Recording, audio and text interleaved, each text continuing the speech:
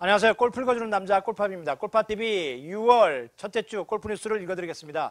오는 6월 둘째 주에는 코로나 팬데믹으로 만 3년 만에 이곳 토론토의 샌 조지스 골프클럽에서 PGA RBC 오픈이 열리게 됩니다. 이 경기의 갤러리 티켓은 현재 온라인으로 구입이 가능합니다. 많은 분들이 참여하셔서 대회에 참가하는 한국 골퍼들을 응원해 주시기 바랍니다. 오늘 첫 소식입니다. LPGA 투어 한국 선수 중 큰언니 지은희 선수가 3년 4개월 만에 우승 트로피를 품에 안았습니다.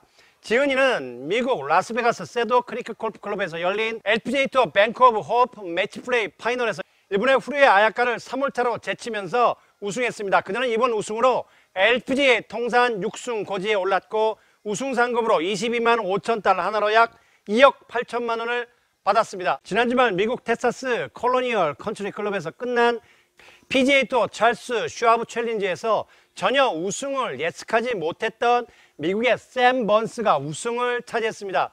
그는 최종일 7타나 뒤진 채 시작했지만 세계 랭킹 1위 스코티 셰플러와의 연장전까지 가면서 PGA 투어 4승째를 올렸습니다. 번스는 이번 대회 우승 상금으로 151만 2천 달러 한화로 약 18억 9천만 원을 받았습니다. 미국의 저스틴 토마스가 PGA 챔피언십에서 역전 우승을 차지했습니다. 토마스는 지난 22일 미국 오클라호마주 서던 힐스 컨트리 클럽에서 끝난 PGA 챔피언십 최종 라운드에서 잘라토리스와 연장 끝에 우승했습니다. 그는 2017년에 이어서 두 번째로 PGA 챔피언십 정상에 올랐고 이번 우승으로 PGA 투어 통산 15승째 그리고 우승 상금으로 270만 달러 한화로 약 34억 2천만 원의 잭팟을 터뜨렸습니다. 지난 5월 세계 여자 랭킹에서는 고진영이 1위를 지킨 가운데 미국의 넬리 코다가 2위, 리디아고가 3위, 이민지 태국의 아타야 티티쿨이 4, 5위를 유지했습니다. 엑스톰슨은 일본의 핫다오카를 7위로 밀어내고 세계 랭킹 6위로 올라섰고 김여주, 박인비, 김세영 선수가 8, 9, 10위를 유지하면서 톱10의 한국 낭자들은 4명이 자리를 지켰습니다. LPGA 미셸리 선수가 1년 2개월 만에 복귀하면서 은퇴 의사를 밝혔습니다.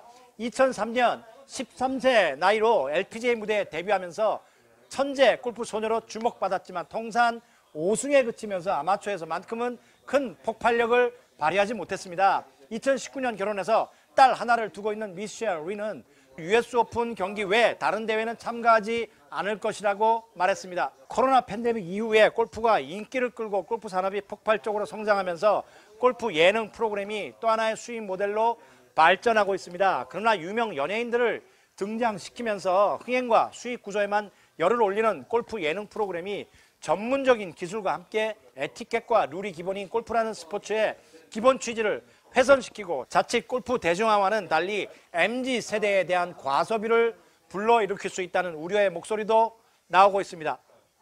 골퍼들이 급증하면서 패션, 브랜드 등 용품 업계는 대대적인 마케팅을 펼치고 있고 이번에는 식음료 업계까지 골프 관련 마케팅에 뛰어들고 있습니다.